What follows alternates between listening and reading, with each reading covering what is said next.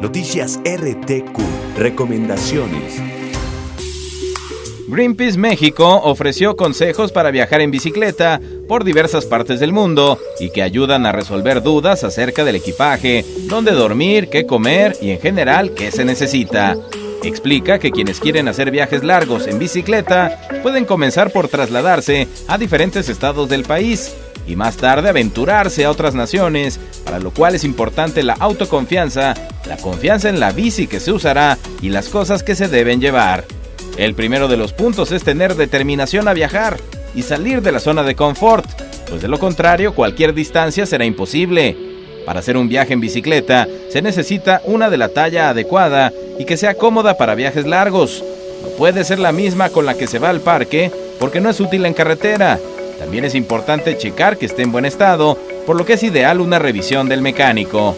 En esos viajes es importante tener herramientas y materiales para arreglar la bicicleta como parches, espátula, pegamento, bomba de aire, pinzas, cámara de repuesto, multiherramientas, llaves Allen, cinta de aislar, que es lo mínimo para poder solucionar un pequeño problema mecánico. En este sentido expuso que tomar un curso de mecánica básica para bicicletas también ayuda mucho, así como tener alforjas para transportar las cosas necesarias, ya que una mochila a la espalda favorece la deshidratación y el cansancio, por lo que es mejor hacer que la bici cargue todo. También es importante llevar un kit de primeros auxilios, si se piensa ir a zonas remotas donde no será fácil encontrar un médico.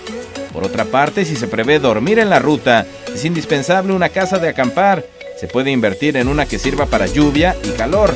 Para los artículos personales se recomienda ropa, tenis, cosas de aseo personal, solo lo necesario e importante para no cargar de más. Y como es importante mantener la hidratación en la ruta, menciona la importancia de cargar con tres o más botellas de agua. Y si se piensa cocinar, seguro se ocupará también para ello. Es importante planificar el viaje. Para comenzar, hay que buscar un destino que se pueda recorrer en uno o dos días por lo que es preciso elegir la fecha, poner las cosas en orden y alistarse.